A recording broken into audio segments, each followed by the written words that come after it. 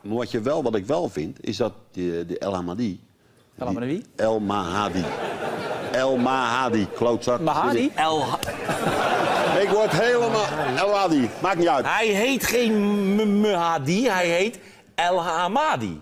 El Hamadi. Ja. Die. Dus met er nee Ja, van nee, dat weet ik, ik. Maar die van Feyenoord bedoel je toch? Ja. Maar die heb wel, die speelt heel anders nou dan vroeger, dat bedoel ik dus.